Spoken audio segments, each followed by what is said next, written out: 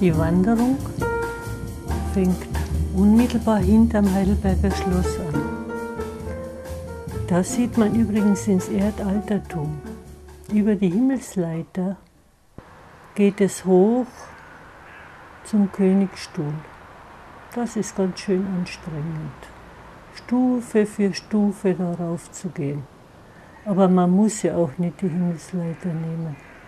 Man kann ja den, den anderen ausgezeichneten Weg nehmen oder man kann sogar mit der Bergbahn fahren. Für die, die nicht so gern so hoch aufsteigen.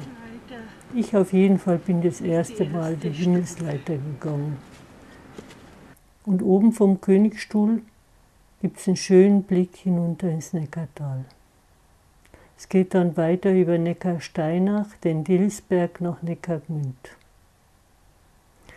Beim hohlen Kästenbaum, da sieht man, wie Mühlsteine, halbfertige Mühlsteine Sitzbänke sind. In Schlierbach am Neckar kreuzen sich die großen europäischen Fernwanderwege. Dort hat übrigens auch der Brahms übernachtet. Und ich habe so ein paar Kunstwerke aufgenommen. Das ist übrigens eine Sache, dass mir es wichtig ist, die Natur und die Kunst zusammenzubringen.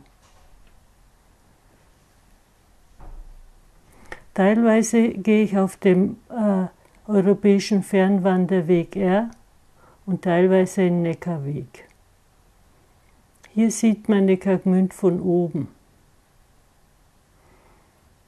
Und da ist diese riesige Liegerlinde, die bald 500 Jahre alt ist. So ein großer Lindenbaum.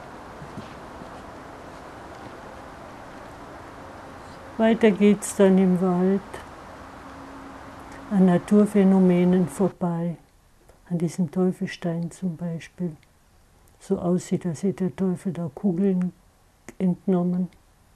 Man sieht auf dem Dilsberg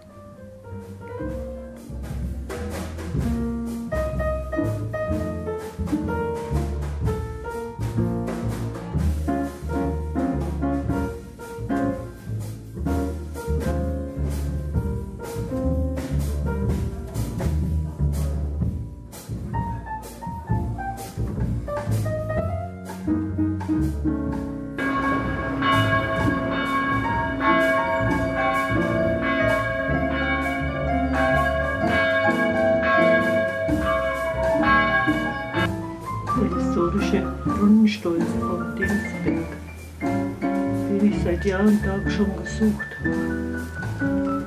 Jetzt habe ich ihn gefunden, circa 30.